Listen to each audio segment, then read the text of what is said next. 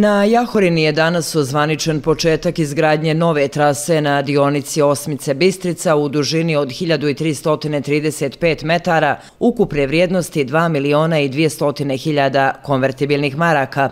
Vršlac dužnosti direktora preduzeća Putevi Republike Srpske Nenad Nešić, koji je prisustovao početku radova, rekao je novinarima da će izgradnjom nove trase biti rasterećena gužva u Olimpijskom centru Jahorina, posebno tokom zimske sezone, čime će turizam dobiti na značaju.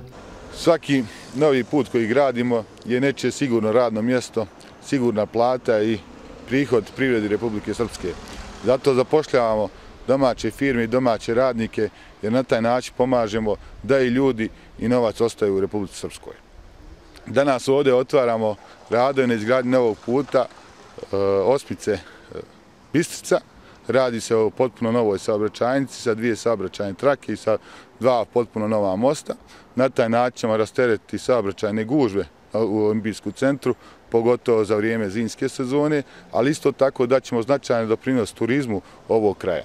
Vrijednost radova koji ćemo izvesti je 2,2 miliona. E, sredstva su apsolutno obezbrijeđena iz sredstava javnog preduzeća Putevi Republike Srpske. Rok za završetak navedeni radova je 180 radnih dana. Normalno, kao i do sad i ono što potenciram, potrućemo se da uz dodatno angažovanje e, naša domaća firma Rokove izvede znatno prije. Ono što mogu da obećam jeste da će put biti probijen prije zimske sezone, a da ćemo nakon zimske sezone, odnosno sa početkom građanijske sezone i završiti kompletan put. Jako nam je bitno da i na ovaj način pokazujemo sam značaj Olimpijskog centra Jahorne, kako za privredu Republike Srpske, tako i za građane ovog kraja. Načelnik opštine Pale Boško Jugović rekao je da je ovo veliki i dugo očekivani investicioni poduhvat. Današnji početak, odnosno probijanje ove trase puta je nešto što je prije svega je opština Pal, olimpijski centar i čitava Republika Srpska dugo očekivalo se i u svakom slučaju se radi o jednom velikom investicijalnom poduhvatu i koristimo priliku da se zahvalimo putema Republike Srpske vlade, Republike Srpske i svima koji su na bilo koji način učestvovali u pripremi ovog projekta. Nadamo se da će biti na vrijeme izveden, da ćemo imati lijepo vrijeme i što kažu mogućnost da se on izvede, a u svakom slučaju će on pomoći rasterećenju e, saobraćajne gužve na Jahorni, jer vidimo da i sezone u sezonu imamo sve bolju posjetu i u svakom slučaju velik doprinos i lokalnoj zajednici i evo kao načelnik opštine Pale koristim priliku da se zahvalim svima jer je ovo velik postrijek i posticaj za opštinu Pale koja definitivno postaje turistička destinacija ne samo u Sarajevskoj romanijskoj regiji nego u regionu uopšte.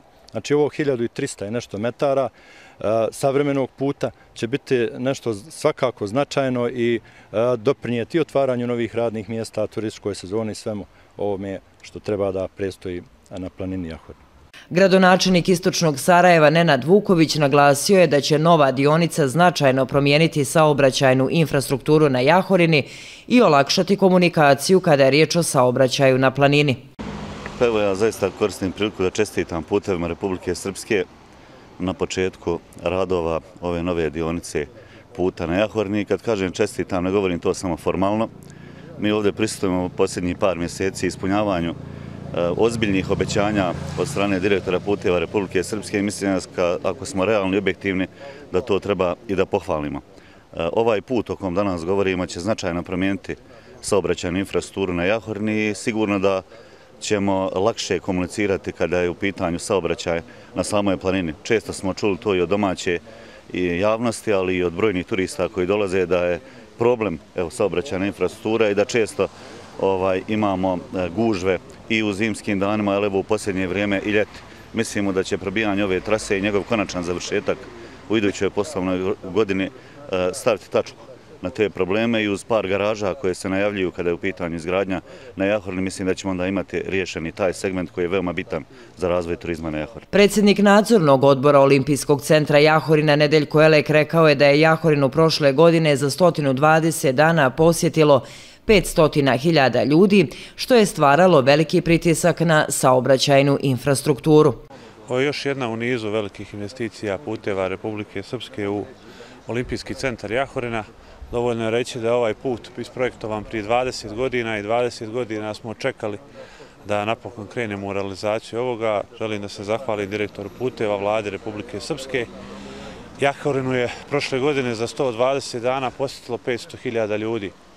To sve dovoljno e, stvara veliki pritisak na saobraćajnu infrastrukturu i mislim da je ovo ključna stvar gdje ćemo riješiti ulaz i izlaz sa planine gdje se više neće dešavati savrećajne gužve i kolapsi koji su se dešavali u zadnje tri godine. E, hvala još jedan put vladi, hvala putevima i e, izvođaču puteva želim lijepo vrijeme i da što prije uđe u radove i da koliko toliko sposobimo ovaj put za sljedeću sezonu.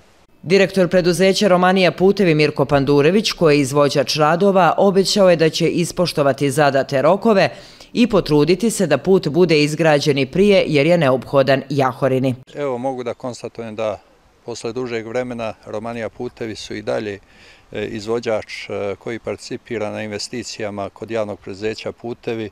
Sa zadovoljstvom mogu da kažem i da konstatujem da smo i na ovom projektu angažovani i da e, sa dva aspekta sam zadovoljan iz prostog razloga što smo tu kao izvođači, a drugo što rešavamo jedan krucijalan problem koji je imao olimpijski centar kad je u pitanju e, cirkulacija saobraćaja na ovom prostoru i pogotovo u ovome, da kažem, završnom dijelu gdje se pojavljuje veliki uspon, dvije serpentine i tako dalje.